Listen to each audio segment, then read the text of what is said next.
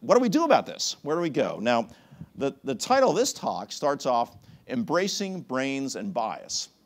And what I mean by that is understanding how our brains work and then working with our brains, but also not being surprised when we come across bias, because it's out there.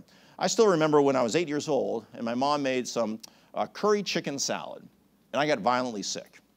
Now, for 20 years, I couldn't eat curry. Today, curry is one of my favorite foods. I love it.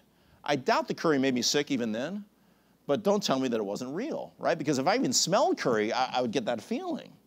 And I think some of us have those experiences. We have an experience that's a strong connection to a memory, and it really judges the way we look at things in the future, whether it's right or it's wrong.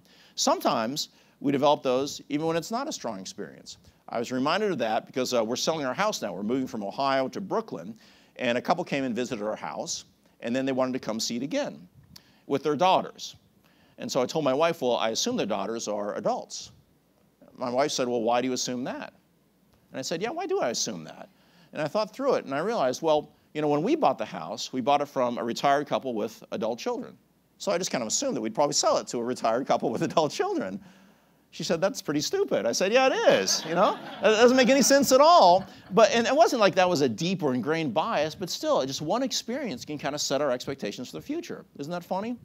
So I want us to remember this when we're working with those around us, because the people on our teams have experience, and that leads to bias. Maybe somebody was burned by a consultant one time, and so when you introduce a consultant, they're a little uh, skittish, right? Or maybe somebody had a bad experience with procurement where they pushed them to the low cost solution, but it ended up causing a lot of problems. Does that happen? Yeah, it does. That's part of the reason procurement has a challenge breaking in sometimes.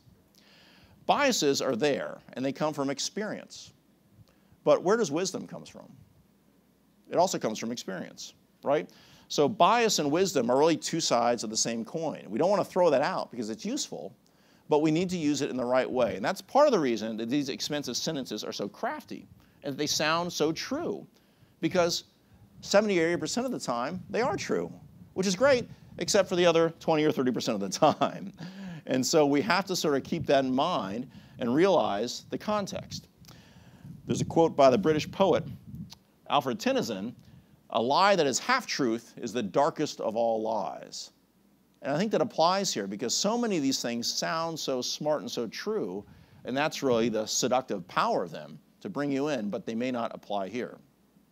Now, that kind of shows what we're up against with these expensive sentences, with these biases. But I want to give you a little bit of hope. And what I want to share with you is that once a bias is identified, it is largely neutralized. In the studies I was talking about earlier, and lots of others like those, when they introduced the subjects that they may have a bias acting and helping them interpret the information, it pretty much wipes out the difference.